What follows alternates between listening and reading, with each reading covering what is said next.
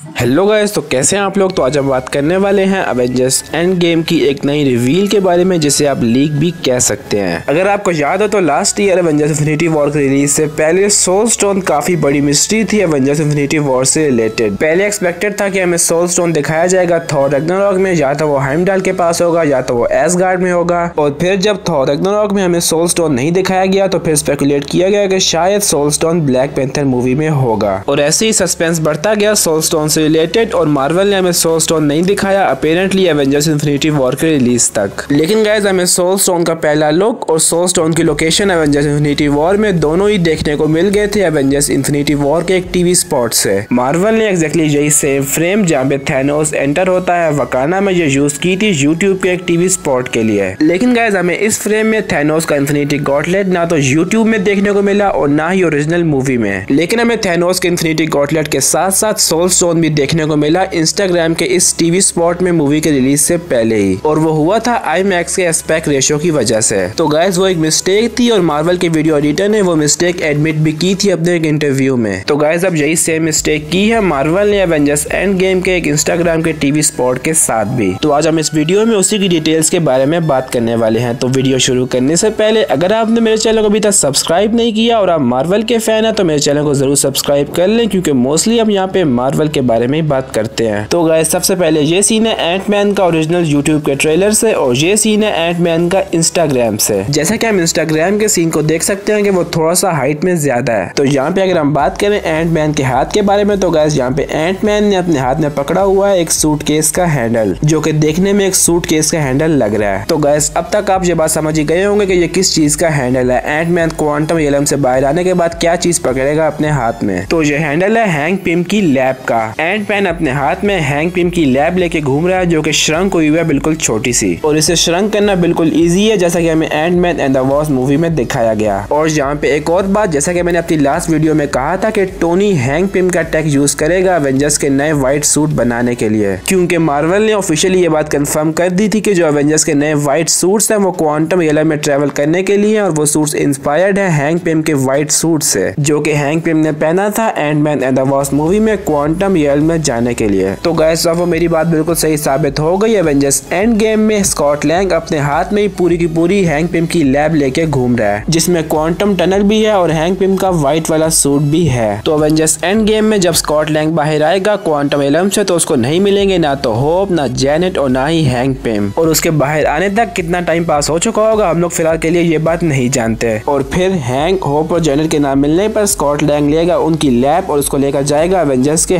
Headquarter और फिर Avengers उसे समझाएँगे कि आखिर क्या हुआ है दुनिया के साथ। और मूवी के इस पॉइंट तक प्रोबेबली टोनी भी आ चुका होगा, अर्थ। और फिर टोनी देखेगा हैंग पिम की लैब को और उसमें पड़ा होगा हैंग पिम का व्हाइट क्वांटम एलम सूट और फिर टोनी बनाएगा सारे एवेंजर्स के लिए एक साथ क्वांटम एलम में ट्रेवल करने के लिए व्हाइट सूट्स और ये बात ज़्यादा मुश्किल नहीं होगी टोनी के लिए क्योंकि बेसिक आइडिया वहाँ पे पहले से है। हैंग पिम का इवन सूट बना हुआ पड़ा है पहले से। टोनी से वो सूट में थोड़ी सी मॉडिफिकेशन करेगा सारे एवेंजर्स को फिट करने के लिए और बूम सारे एवेंजर्स के व्हाइट सूट बन गए। तो गैस ये तो बात हो गई एवेंजर्स के नए व्हाइट सूट्स के बारे में। अब बात कर लेते हैं इंस्टाग्राम के एस्पेक्ट रेशो के बारे में। तो गाइस ये है स्टैंडर्ड स्क्रीन और ये है आई मैक्स स्क्रीन जैसा कि आप देख सकते हैं कि आई मैक्स स्क्रीन में थोड़े से पिक्सल ज़्यादा है। आई मैक्स की स्क्रीन की थोड़ी सी हाइट ज़्यादा है। और मार्वल इंस्टाग्राम और फेसबुक के टीवी स्पॉट स्टैंडर्ड स्क्रीन से नहीं, बल्कि आई मैक्स स्क्रीन से बनाता है। मतलब की आई मैक्स की फुटेज से बनाता है। ताकि वो आपके मोबाइल पे परफेक्टली फिट आ जाए और आपको ज़्यादा क्रॉप भी ना लगे। इसीलिए गाइज़ आपको फुटेज की ज़्यादा हाइट और ज़्यादा डिटेल्स देखने को मिलती है मार्वल की मूवीज़ के इंस्टाग्राम और फेसबुक के टीवी स्पॉट्स में। अवेंजर्स इन्फिनिटी वॉर और अवेंजर्स एंड गेम दुनिया की पहली दो मूवीज़ हैं जो कि पूरी तरह आई मैक्स से शूट हुई हैं। वरना मोस्टली डायरेक्टर सिर्फ़ एक्शन सीन को ही आई मैक्स कैमरा से शूट करते हैं। तो दोस्तों, आज के लिए इस वीडियो में इतना ही। अब मैं आपको उस क्वेश्चन का आंसर बता देता हूँ जो कि मैंने अपनी लास्ट वीडियो में पूछा था। क्वेश्चन था लोकी की थॉर की पहली मूवी में डेथ होने के बाद लोकी हमें उसके बाद मार्वल में कब देखने को मिला? उसका आंसर है थॉर की पहली मूवी के ही पोस्ट क्रेडिट सीन में अब जो अगला क्वेश्चन है वो है लोकी ने अपना मैजिक किससे सीखा? मुझे इसका आंसर कमेंट सेक्शन में ज़रूर बताएँ। तो दोस्तों आज के लिए इस वीडियो में इतना ही। अगर ये वीडियो आपको पसंद आई हो तो उस वीडियो को लाइक करना मेरे चैनल को सब्सक्राइब करना